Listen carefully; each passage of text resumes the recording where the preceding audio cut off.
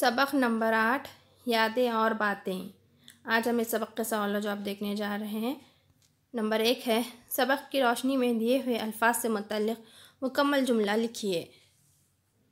Number एक, मुश, मशाख। Number दो, मलिका। Number तीन, उन्स। शौक़ उसूल, नफ़रत और शुगल। यहाँ पर जवाब दिए गए हैं। मशाक लड़कपन में मुझे गिल्ली डंडे का डंडा खेलने का बड़ा शौक़ था और मैं इसमें मशाक भी हो गया था। नंबर दो है मलिका मुझे पहाड़े वगैरह खूब याद थे और ज़बानी हिसाब करने में भी बड़े, बड़ा मलका था। नंबर तीन है शौक़। लड़कपन में मुझे शाहनामा पढ़ने और दूसरों को सुनाने का बहुत शौक़ था। नंबर चार है उसूल। ये उसूल हमेशा, ये उसूल हमेशा मेरे सामने रहता है कि हर इंसान के लिए, चाहे वो गरीब हो या अमीर, आला से आला तालीम हासिल करने के इसबाब मुहैया होने चाहिए। उन्स अंग्रेज़ी इल्म अदब से मुझको ज़्यादा उन्स रहा है और इसी से काम भी रहा। नफ़रत और शुगल, ये सबक ये सबक में ये दोनों लफ्ज़ शामिल नहीं हैं। अगला सवाल देखिए कि एक जुमले के जवाब लिखिए। नंबर एक है दादा भाई नौरोजी को किस बात से तस्कीन होती थी? जवाब दादा भाई नौरोजी के दिल में ये बात बैठ गई थी कि चाँद को उनके साथ हमदर्दी है। इसी ख्याल, ख्याली हमदर्दी से उनको तस्कीन होती थी। नंबर दो है, सवाल दादा भाई नौरोजी से लोग किस वजह से मोहब्बत करते थे? जवाब दादा भाई नौरोजी से लोग उनकी जहानत की वजह से मोहब्बत करते थे। अगला सवाल है, सवाल नंबर तीन दादा भाई नौरोजी के ख्याल और चाल चलन पर किस बात का असर पड़ा? नंबर तीन का जवाब है दादा भाई नौरोजी के ख्याल और चाल चलन पर शाहनामा बार बार पढ़ने और सुनाने से असर पड़ा। नंबर चार है दादा भाई नौरोजी मुफ़्त तालीम की तलकिन क्यों करते थे? जवाब दादा भाई नौरोजी को मुफ़्त तालीम हासिल हुई थी, यही वजह है कि वो मुफ़्त तालीम तल, की तलकिन करते थे।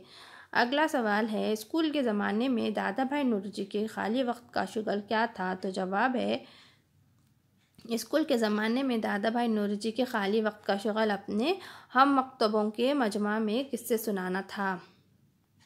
अगला सवाल है दादा भाई नूरोजो, नूरोजी के बुज़ुर्गों को किस बात का शुबा था? जवाब दादा भाई नूरोजी के बुज़ुर्गों को इस बात का शुबा था कि विलायत में पादरी लोग दादा भाई नूरोजी को ईसाई बना देंगे। अगला सवाल है दादा भाई नूरू जी को किस ख्याल से मसरत होती थी? जवाब दादा भाई नूरू जी को इस ख्याल से मसरत होती थी कि उनके शबाब का ज़माना इनकी राय में बहुत अच्छे कामों में सर्फ हुआ। अगला सवाल है, मुख्तसर जवाब लिखिए। दादा भाई नोरोजी ने अपनी वालदा के बारे में किन बातों को बयान किया है? जवाब दादा भाई नूरुजी ने अपनी वालदा के बारे में बयान किया है कि इनकी वालदा ने अपनी तमाम आसाइशों को खैर बात कहकर इनकी परवरिश और तरबियत की। बचपन ही में इनके वालिद का इंतकाल हो गया था।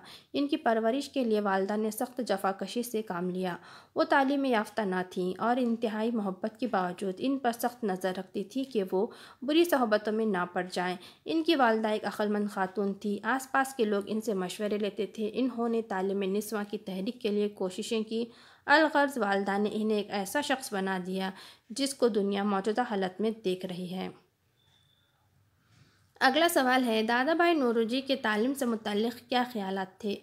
जवाब दादा भाई नूरुजी का ख्याल था कि तालीम मुफ़्त होनी चाहिए, हर इंसान के लिए, चाहे वो अमीर हो या गरीब, आला से आला तालीम हासिल करने के लिए इसबाब मुहैया होने चाहिए। अगला सवाल है दादा भाई नूरुजी की तालीम के बारे में तफसील से लिखिए।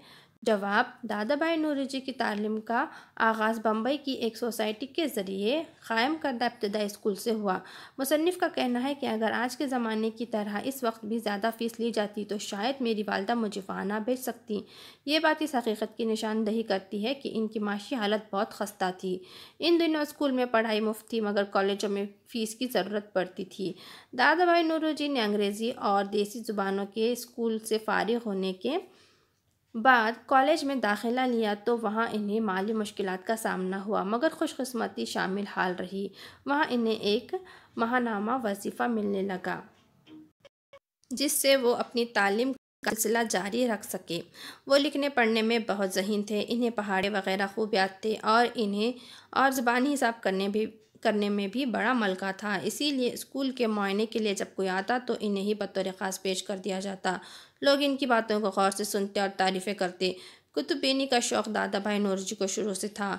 इस वक्त वो शाहनामा फिरदौसी और एक गुजराती ज़ुबान की किताब अक्सर पढ़ा करते थे। इन दिनों किताबों ने मुसनफ़ के अखलाक पर अच्छा असर डाला। अगला सवाल है, ज़माना इनकलाब में मुंबई की बदलती हुई सोसाइटी के बारे में दादा भाई ने कौन कौन सी बातें बताई हैं? जवाब, ज़माना इनकलाब में जबकि बम्बई की सोसाइटी बदल रही थी, चारों तरफ़ तालीम नस्वा औरतों की आज़ादी, सोशल कॉन्फ्रेंस के इनका का ज़ोर था। तलबा और इल्म, तलबा और इल्म दोस्त अहबाब के लिए इल्मी और साइंटिफिक कुतुब खाने जारी करने की कोशिश में हर हर नौजवान मशगूल था। देही ज़ुबानों की तरक्की, कम सीनी की शादी की रस्म ख़त्म करने और बेवाओं की शादी को रिवाज देने की भी हर तालीम याफ्ता नौजवान को फ़िक्र थी। जवानों को बुज़ुर्गों की हिमायत भी हासिल थी। अगला सवाल है दादा भाई नूरजी ने अपने अहद शबाब के बारे में कौन से वाक़े बयान किए हैं? जवाब, अपने अहद शबाब का ज़िक्र करते हुए दादा भाई नूरजी लिखते हैं कि जब मैं कॉलेज के आला मरातब तय कर चुका तो सरार सकन पेरी ने जा, जवान दिनों सर रिश्ते तालीम की कमेटी के सदर थे जो तजवीज़ पेश की कि मुझे क़ानून की तालीम के लिए विलायत भेजा जाए। हालाँकि दादा भाई नूरजी से बहुत ज़्यादा खुश होने की वजह से इस तालीम का आधा खर्च भी वो बर्दाश्त करने को तैयार थे, मगर बुज़ुर्गों ने इसे मुस्तरद कर दिया। उनको ये गलत फहमी हो गई थी कि विलायत के पारदी इन्हें ईसाई बना देंगे। हुसैन माश की बात चली तो एक और करम फरमा आगे बढ़े। बम्बई के सर रिश्ते तालीम के सेक्रेटरी साहब ने सेक्रेटरीट में इनके लिए सिफारिश कर दी। वहाँ भी दादा भाई नूरजी नहीं गए। मुसनफ़ लिखते हैं अच्छा हुआ नहीं गया, वरना उम्र भर छोटी छोटी सरकारी मुलाजिमतें झेलता रहता। अगला सवाल है, दर्ज झैल अल्फाज को अपने जुमलों में इस्तेमाल कीजिए। नंबर एक है, मलका होना, आफरीन कहना, तामुल करना यक के बाद दिगरे और बगलें झांकना।